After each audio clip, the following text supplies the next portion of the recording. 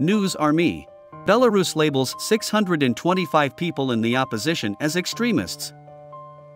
Belarusian officials have added 625 names to a list of people who can't hold public office or do other things because they are thought to have ties to extremists.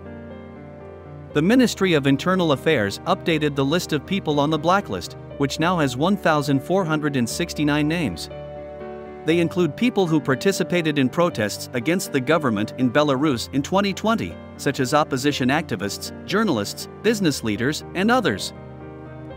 The Viasna Human Rights Center, whose founder Ales Bialiatski won the Nobel Peace Prize this month, said that the expansion of the extremism watchlist is part of a more significant trend of repression because President Alexander Lukashenko backs Russia's war on Ukraine.